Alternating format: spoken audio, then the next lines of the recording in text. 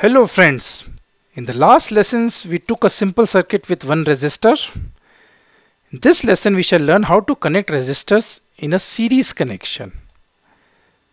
Previously we took a simple circuit, a battery connected to a small motor with a small fan through a switch. When the switch is turned on, the electric current flows and the fan rotates. You will see the fan is rotating really fast. Here resistance of wire is negligible and only resistance offered is by the motor of the fan. So here V is equal two 3 volts to 1.5 cells connected in series. Say R equal to 60 ohms of the motor.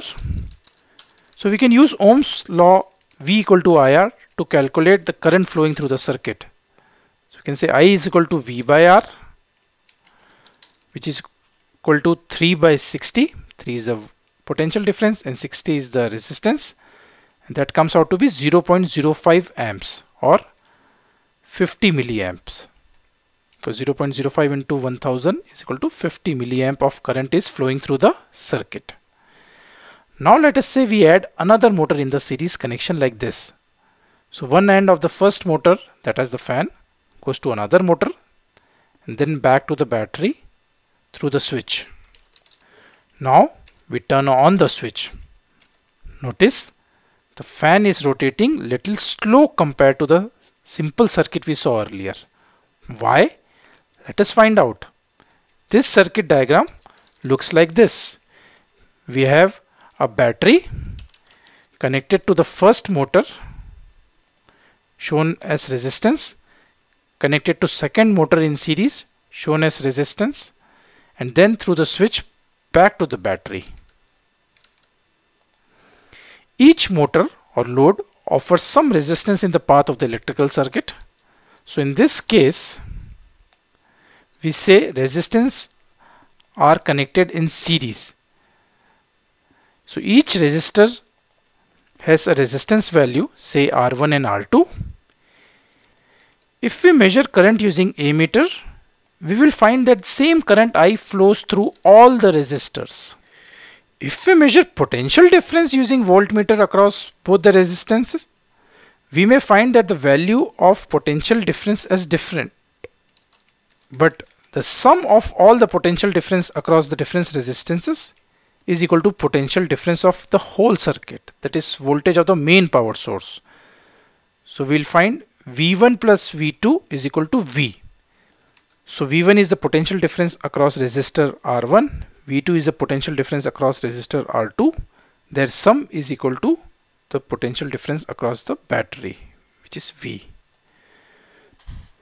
But V1 equal to IR1 where I is the current flowing through the resistor 1 same way V2 is equal to IR2 where same current I is flowing through resistor 2.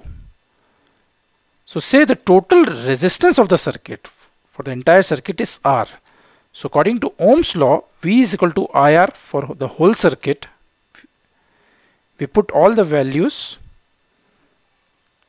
of different potential differences in the equation V equal to V1 plus V2 we get instead of V we put IR for V1 we put IR1 and for V2 we put IR2. So we get IR equal to IR1 plus IR2.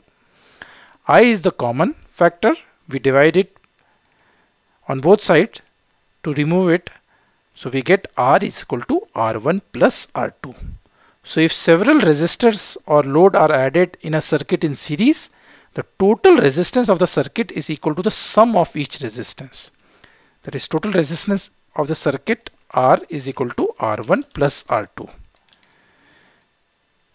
And note the total resistance in the circuit is more than the individual resistance of each resistor because it is sum. Same way total potential difference across the battery V is equal to V1 plus V2 that is sum of potential difference seen across each resistor. Whereas same current I flows through the entire circuit. Now why did the fan slow down when another motor was added in series in the circuit? Let us find out. Here the resistance of wire is negligible and only resistance offered is by the motor of the fan. So here V is equal to 3 volts say R1 is equal to 60 ohms and the new motor has resistance R2 which is equal to 100 ohms. So total resistance in the circuit R is equal to R1 plus R2 which is equal to 60 plus 100 that is equal to 160 ohms. So that is the total resistance in the circuit. Now we can use the Ohm's law V equal to IR to calculate the current flowing through the fan.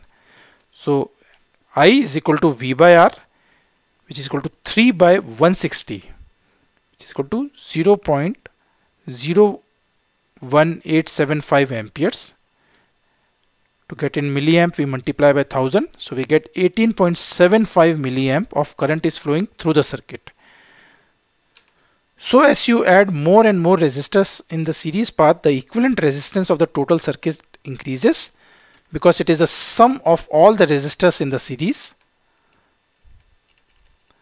and the current reduces in the circuit assuming voltage is same because I is equal to V by R. So if R increases, I decreases assuming V is constant. One important thing to note when you have such a circuit, if current stops flowing through any one of them, then it stops in all of them because circuit becomes open. So like in old electric lighting used in marriages, you might have seen if one bulb goes bad, then the entire strip having small small bulbs stops working because all the bulbs were connected in series. One bulb stops working means current stops in the entire circuit and then the electrician tries to find which bulb is faulty and replace it or remove it from the circuit. But series circuit is useful also like if you want to turn on all the lights of a false ceiling with one button. So we use series circuit there. That's all in this lesson. Bye bye.